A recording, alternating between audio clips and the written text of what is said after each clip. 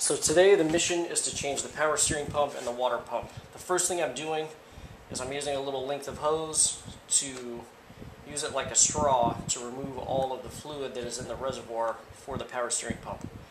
I'm doing this so I can add clean fluid to the reservoir, turn the car on, and then I'm going to um, turn the wheel all the way to the left, all the way to the right, and try to flush some of the old fluid out of the power steering pump.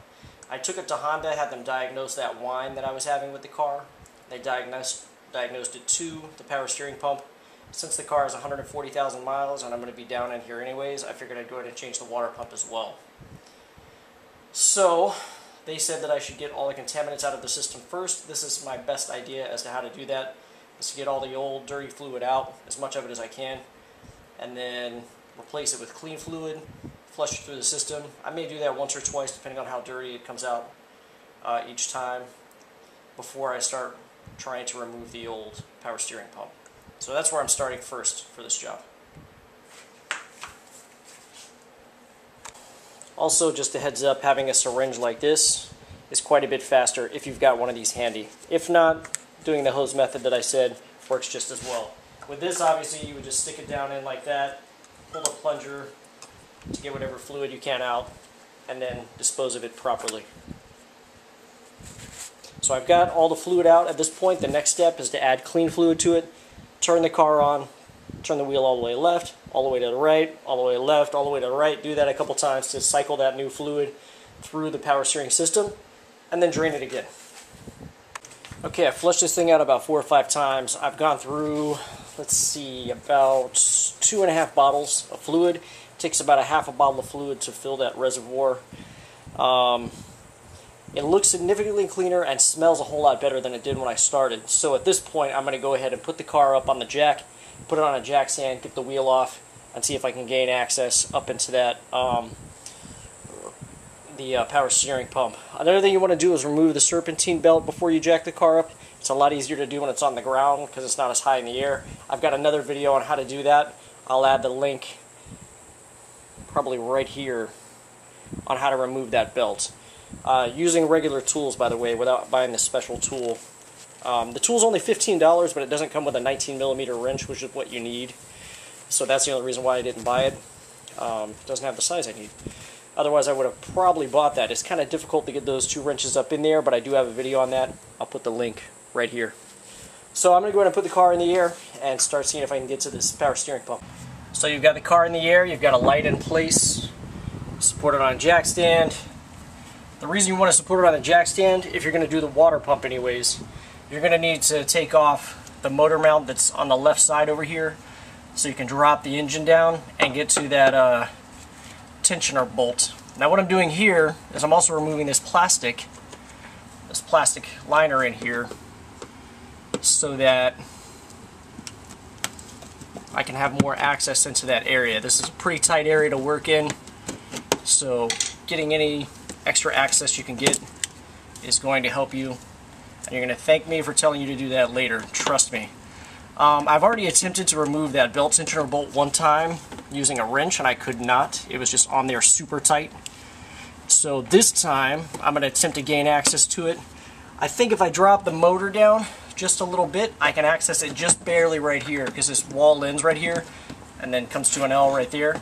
I can just barely get an extension in that way and I'm going to hit that junk with the impact wrench try to get it out. I've actually already bought a new bolt at Honda. They're only like $3.50 for that tensioner bolt so that, um, you know, if I happen to break it, I've got another on hand. I don't have to try to, you know, go wrangle one up or anything like that. So, anyways, I'm going to do the power steering pump first. That's the bugger you're trying to get at. It's not too terribly difficult to get up in there. Um, it's going to be a little bit of a challenge, but not too bad at all. The real challenge is going to come in when I try to get Where's that bolt at? Uh, well, that's the pulley. That, that bolt I'm referring to is somewhere up in there. You can't see it right now. But like I said, I'm going to drop the motor down in a little bit to gain access to that. I'll probably just make two different videos, one for the water pump and one for the power steering pump. But I wanted to show you both since I'm in here and you can kind of see both of them. So at this point, like I said, I'm just going to try to peel back some of this plastic a little bit, get it out of the way, and then start attacking this right over here. I will start by removing the bolts. Um, I'll identify where they're all at in a minute, but there's one there, there's probably at least one or two on the top.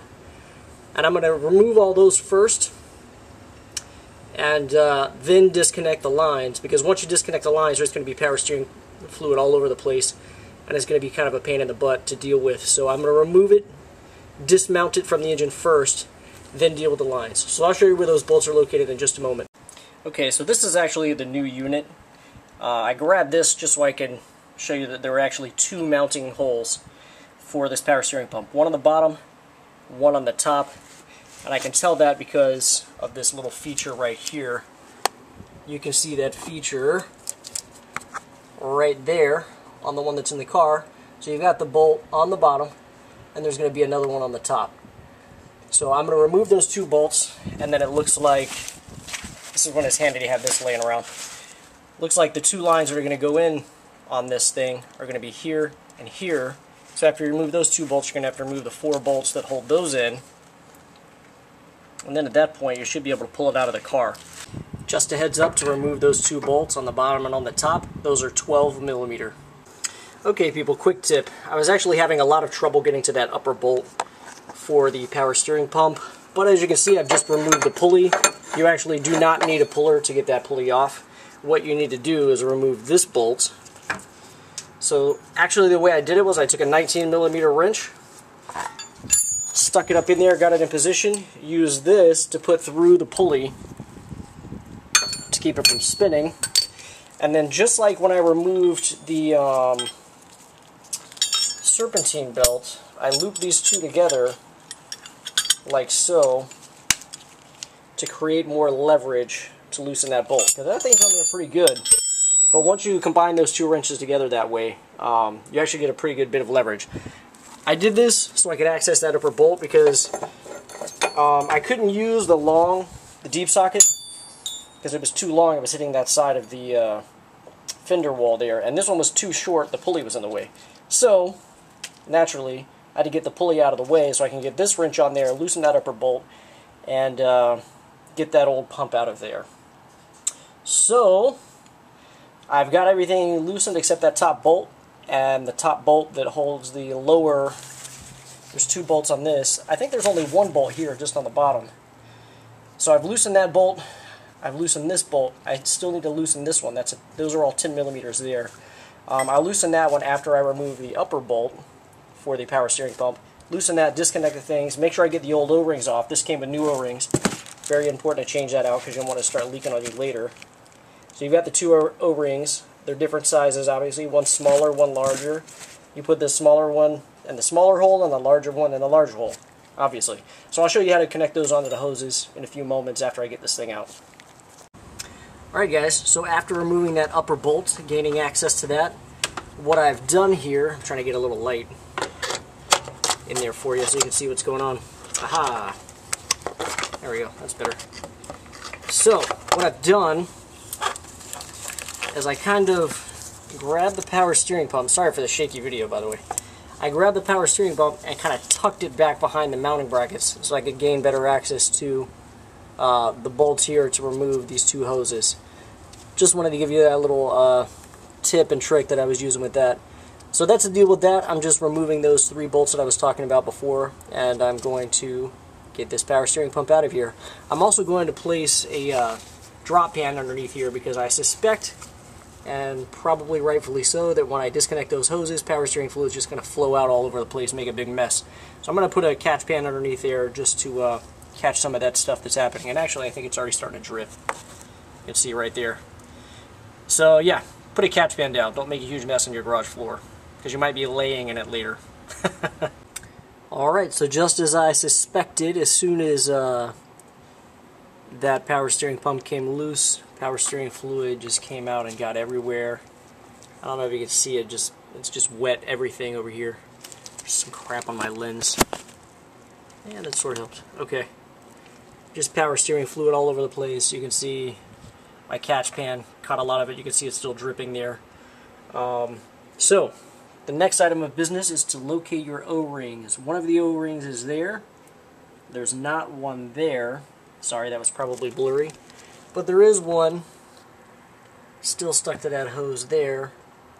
So, what you want to do is take your small O-ring, put it on the small connection, your large O-ring, put it on the large connection. And uh, maybe take a bit of the power steering fluid to lubricate that a little bit, even though I don't think that's going to be a problem because it looks like there's plenty there. So replace your O-rings. Once your O-rings are replaced, take your new unit and stick it up in there, reconnect those two hoses, and then um, start reconnecting the two mounting bolts. And that's basically it.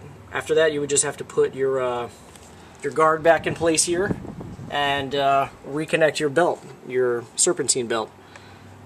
And then obviously you need to refill your uh, refill your power steering reservoir with uh, power steering fluid.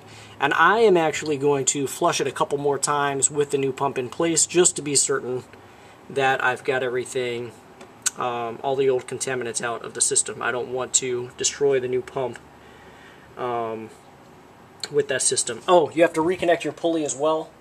Uh, now, I couldn't get the pulley out of there. Let me talk about this for a second. I could not get the pulley out of the way. It was just kind of hanging on the power steering pump until I got that top bolt out. So before I put the bolt back in, I'm going to do the same thing, just kind of hang it there, put the bolt back in place, and then rebolt this back on the new pump, and put my lower bolt back on. That's going to be the process that I do that. So just a little trick there, be cognizant of that, okay? Other Okay, so I've determined that this is the only way to get this freaking O-ring to seat in there properly. Make sure you place it right there on the uh, plastic housing here.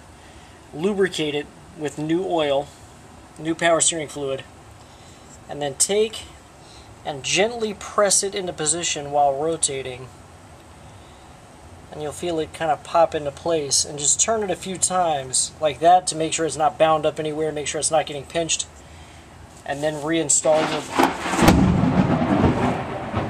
yeah that was thunder. That's awesome. Reinstall your bolt here and get that uh, to the proper torque before reinserting this back into the um, car. Now the reason why I'm doing it like this is because I've had a hell of a time with this seal leaking. And uh, I just actually swapped this unit back out because I was afraid that the uh, unit that I had was defective because I couldn't get it to stop leaking.